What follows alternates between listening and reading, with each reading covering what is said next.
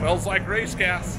So uh, we got Project 200. We're gonna take it and get an alignment. Um, it just snowed, but the roads are pretty clear now. So uh, we're gonna take it into the town, get an alignment done on the car so we know everything is ready to go for Texas 2K here in just about four or five days now uh, is when we're gonna be leaving. So we're gonna hop in the car, do a few checks, and drive it across town to get it aligned. So we'll take you guys along with us.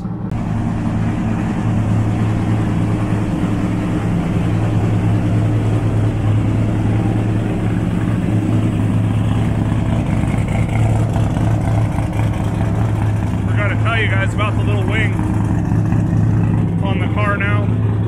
Got a little bit of adjustment, kind of rolls around the parachutes, kind of cool.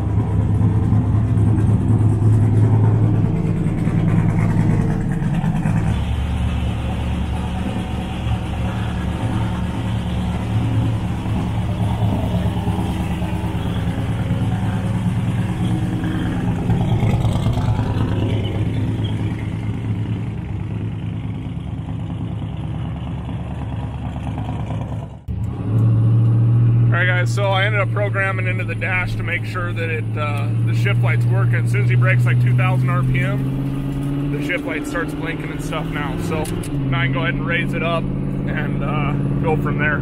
I don't know why they're not all lighting up though. I got to figure that out. All but four. All but four, yeah. It's the so it's kind of goofy, but we'll figure it out. Every every time making a little bit more progress on it, I guess. Yeah.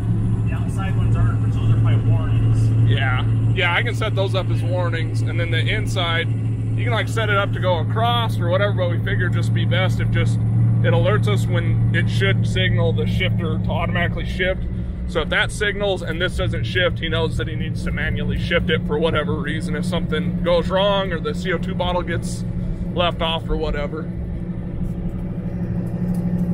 So we'll head into town here and go get the car aligned. Just a street car in it, even though there's some junk on the road and stuff, so hopefully it doesn't make too much of a mess.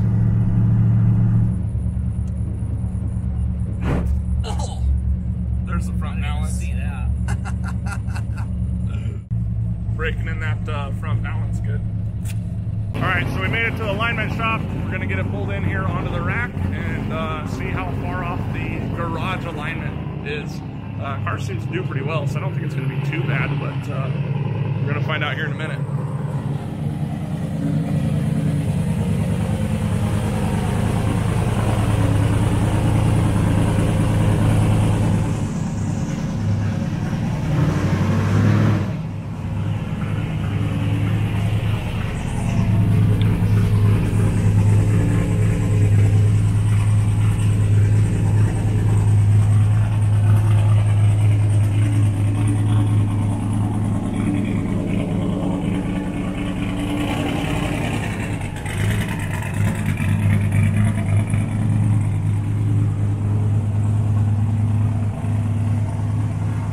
All right, guys. So we ended up getting the uh, car all aligned. Something that seems to always be a uh, issue that we have is cars that have these wheel wells getting these rear uh, little, I guess, measurement tools or whatever you call these here, the chocks into the wheel. Uh, but we ended up getting it thanks to Rick and those these guys here. Um, but the car is all aligned. It actually was super close. What'd you guys adjust on it? Just a little bit of toe? Just a little bit of toe? Is that what it needed? 6400 of a degree. So just a little bit of toe of adjustment, and uh, otherwise everything else fell in. So should be good to go, and uh, we'll go ahead and get it back home.